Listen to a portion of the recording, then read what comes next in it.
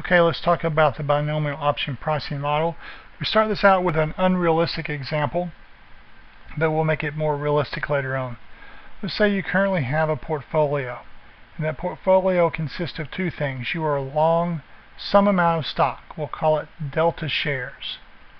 So I don't know how many delta is. I don't know if it's one, two, three, or a half, but you have delta shares of some stock. You've also written a call option, which means you're short one call option. Okay, so now I want to think about what could happen with this stock uh, and with this whole portfolio. The stock is currently worth $40. I can see that by looking at the price in the open market. I've sold this option, so I get to say, well, its the strike price is $42, and it's going to mature or expire in one year. And now we have to make a couple of assumptions. So here's today.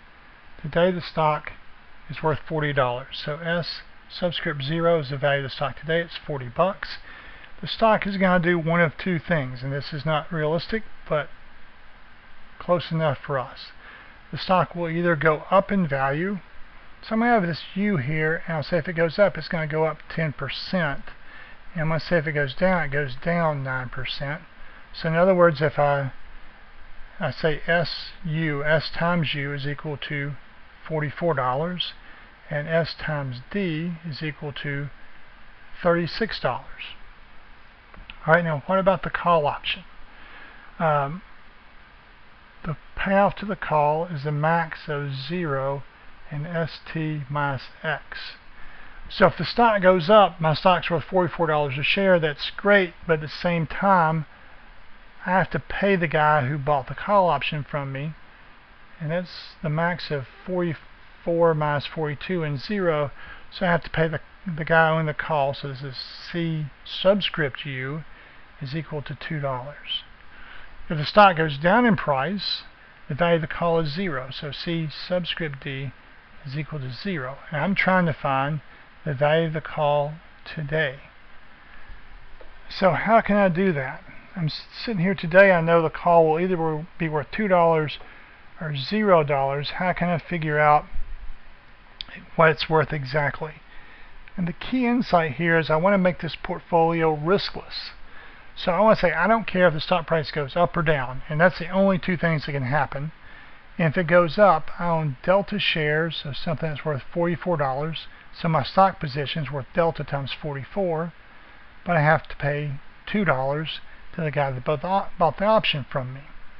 If the stock price goes down, I have Delta shares of stock that's worth $36. If I own exactly 0.25 shares, then I don't care if the stock price goes up or down. So 0.25 times 44 minus 2 is equal to $9 and 0.25 times 36 minus 0 is equal to $9. So who cares if it goes up or down, it's going to be worth $9. Using that insight, I can find the value of the call. Because I know today I bought 0.25 shares that cost $40. I sold a call, I don't know what it's worth, but I know that the payoff of this portfolio next year will be exactly $9, regardless of what happens. But I can't set this equal to 9 because that's $9 in a year, I need to find the present value of 9. And I want to do this in continuous compounding. If you haven't seen that, we can deal with that later. But what you do to get the present value of a number when continuous compounding, you say e to the minus rt. So what is r? r is going to be the risk-free rate. It's the risk-free rate because there's no risk in this portfolio.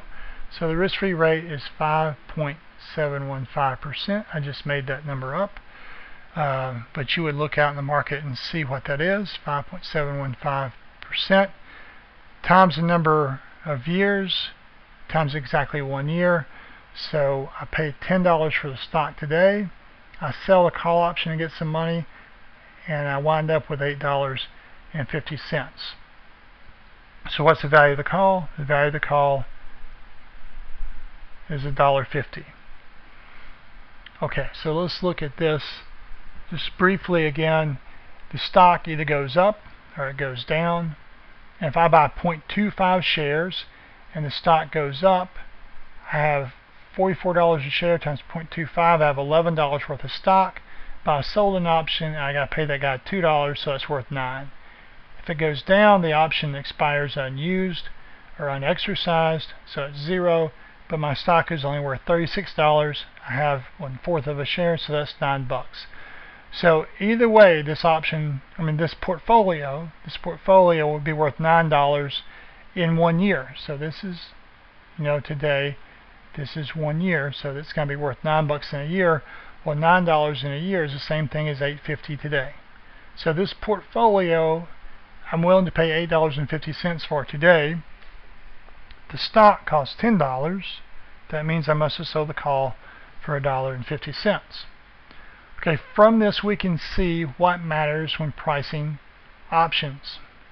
The price of the stock today, I need to know that, right? Because it goes right here. The strike price, I gotta know that, right? Because it goes right in here to determine the 2 and the 0.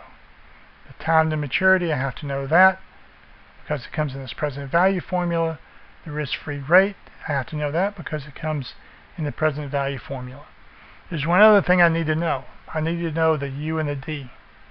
And I just made those up. Where it really comes from is the volatility. Lowercase sigma is the volatility of the stock. We'll talk about volatility later on. But basically it's this, it's how much the stock can go up or how much the stock can go down. What's the sensitivity or the riskiness of the stock. This is measure of the risk of the stock. So given that information, um, I can come up with this price. Another couple of things here.